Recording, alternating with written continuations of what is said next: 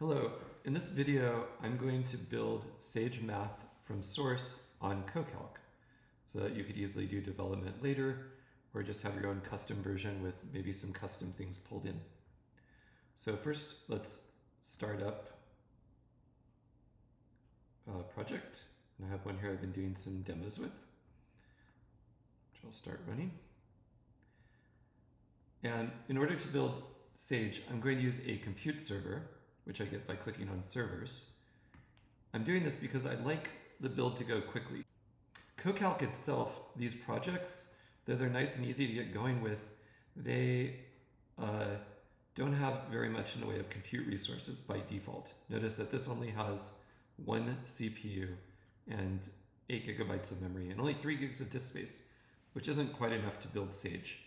So instead, what I will do is create a compute server that has a lot more power. So build Sage from source. We need a little more sagey color. Now let's choose um, a simple environment, Python. And then uh, one of my favorite machine types, because they're very fast and very affordable, is these T2Ds.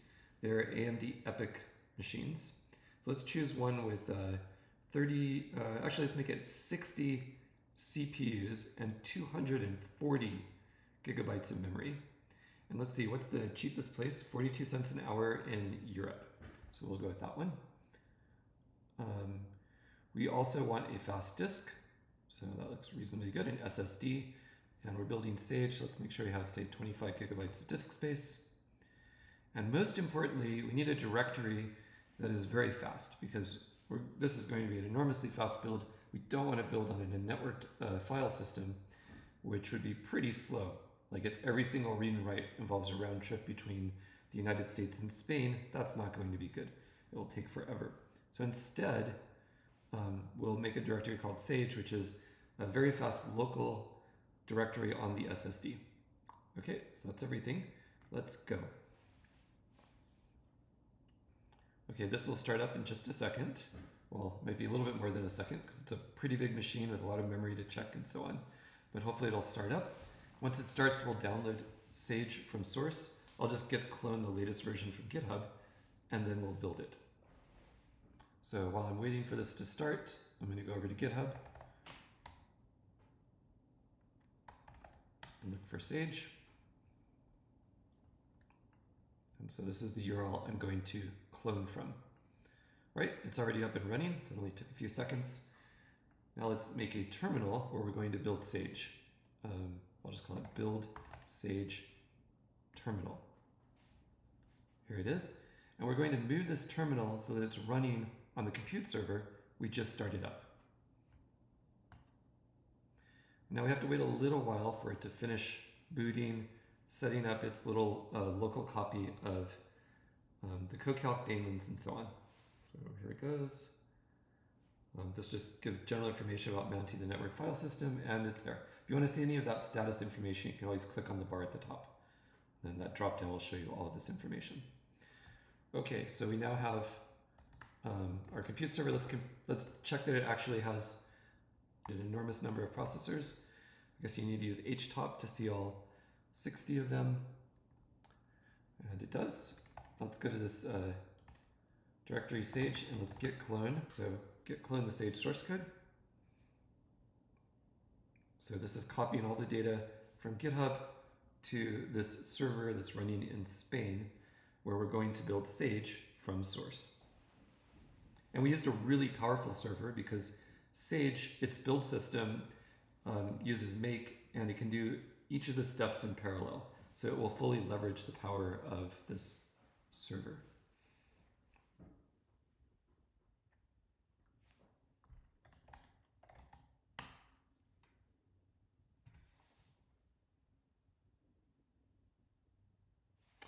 Okay, so I tried to do make build and it failed because I don't have M4 installed, so sudo apt get install M4. One nice thing about compute servers is if there's anything that's not installed, you can just be sudo and install it. Um, whereas in the normal cocalc.com projects, you can't, since you can't be root there.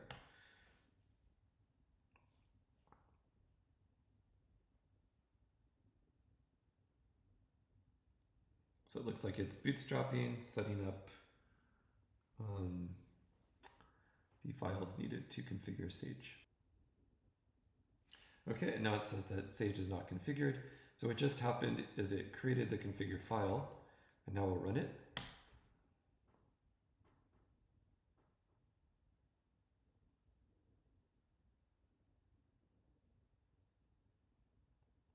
Woohoo!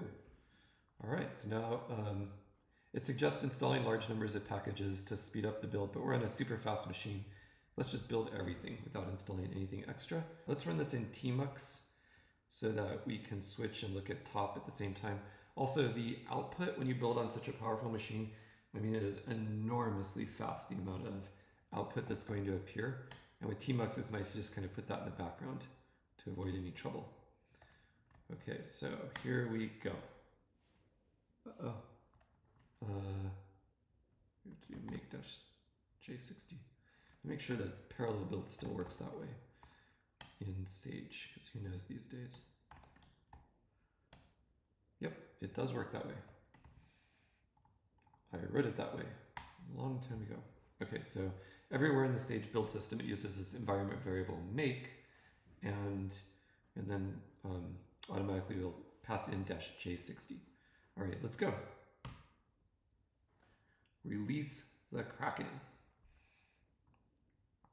All right, so it's doing stuff. So at this point, I'm going to switch to another terminal in uh, tmux to see what's happening. Okay, so you can see that there's a little bit of build activity starting to take off. And we can always switch back and forth if you know the tmux keyboard strokes, keystrokes. So right now it's building GMP, and now that's very fast. So let's look, should be seeing some stuff happening. See the cores are all being used, etc. By the way, one really cool thing about this particular machine type, this T2D, is that each vCPU is an actual full core, not just a partial core. And that gives us a lot more of a speed up when we're running 60 at once. So you can see that there's a large number of makes happening simultaneously of different packages. And yeah, that's a lot of stuff flying by. All right, so there it goes. We're using up uh, quite a bit of our CPU.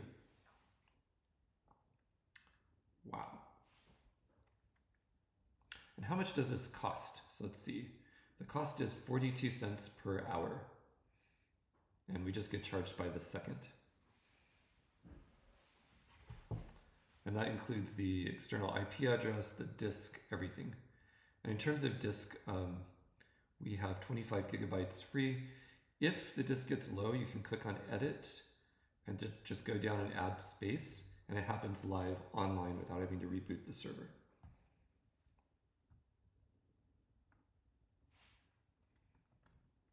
So there goes our build, completely crazy stuff flying by and we'll just wait Okay, so we waited uh, 17 minutes and the entire Sage build has completed. So let's see if it works. A moment of truth after 17 minutes of building from source. Okay, almost 18 minutes.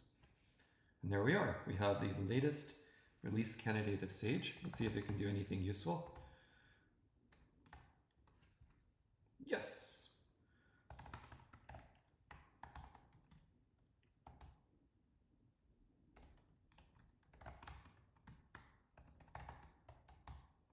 Just going to factor the next few years.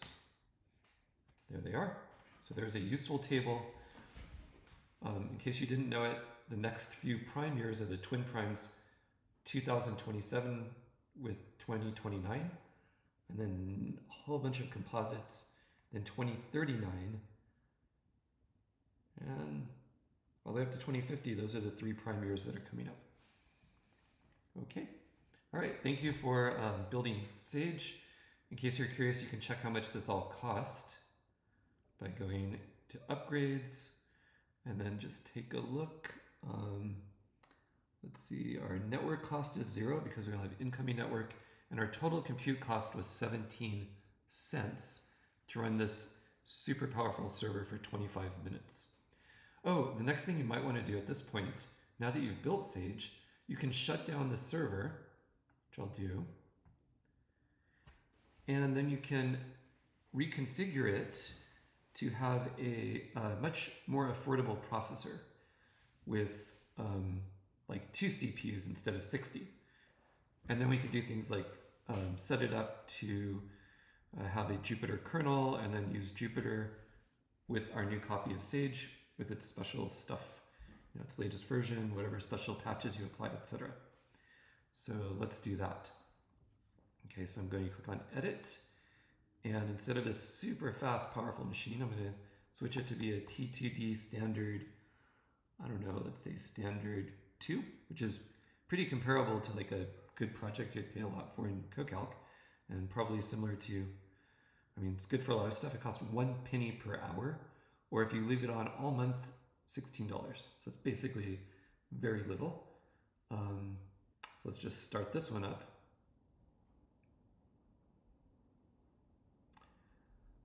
And uh, no, there's no easy way to move it currently in CoCalc from Spain back to the United States or something like that.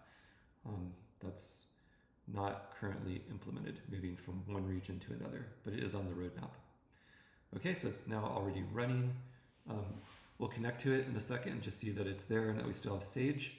And then the next thing we'll do is configure a Jupyter kernel that lets us run Sage on here through a Jupyter notebook instead of only using it through the command line terminal or running scripts using it.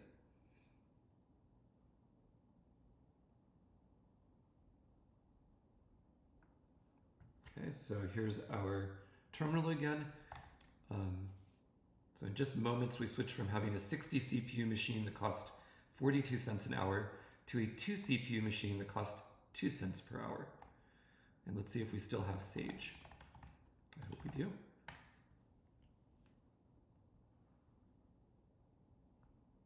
There it is, our pre-release version of Sage, ready to go.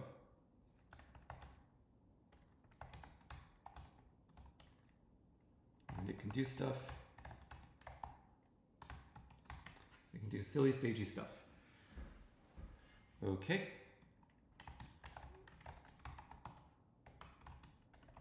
More Sage stuff. Can't avoid doing that. Um, using MWRank. Let's uh, get a Jupyter kernel to work here. So right now the situation is that if I say new Jupyter notebook, I can set the Jupyter notebook to run on the compute server as follows. Okay, so it's now running on the compute server, but notice there's only this Python kernel. That's just like the system-wide Python. We can select it, but unfortunately, the Sage install we set up has nothing to do with it. So this is just gonna give us an error because Sage is installed in a completely different place. The system-wide Python doesn't know anything about it. So what we need to do is make the kernel, the Jupyter kernel that comes with Sage, available system-wide. Um, Jupyter, set up SageMath as a Jupyter kernel right here.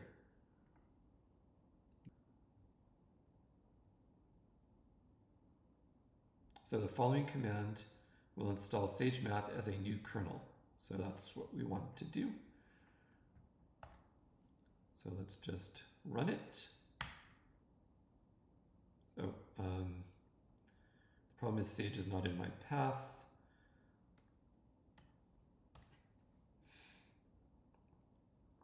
Hmm, no such file or directory.